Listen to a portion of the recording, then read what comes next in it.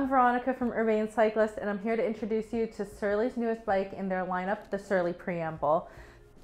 The Preamble is Surly's take on a commuter bike, but much in Surly fashion. There are tons of ways to make it your own.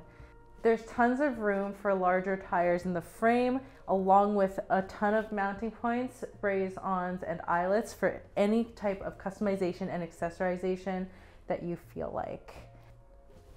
The frame features Natch tubing and it's double butted to help reduce the weight.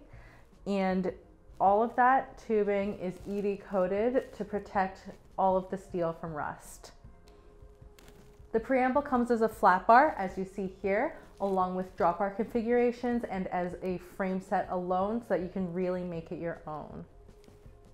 So that's the Surly Preamble. It's a super capable, versatile, and durable ride, and we'd love to have you come into the shop and check it out sometime.